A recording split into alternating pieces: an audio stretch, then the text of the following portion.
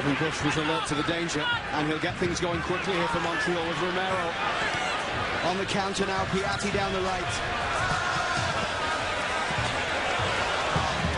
Piatti's ball in. Comes back for Oyongo. Oyongo! What a finish! Montreal in front, 18 minutes in at BMO Field. Chris Konopka obviously not happy, but wonderful technique from Ambroise Oyongo.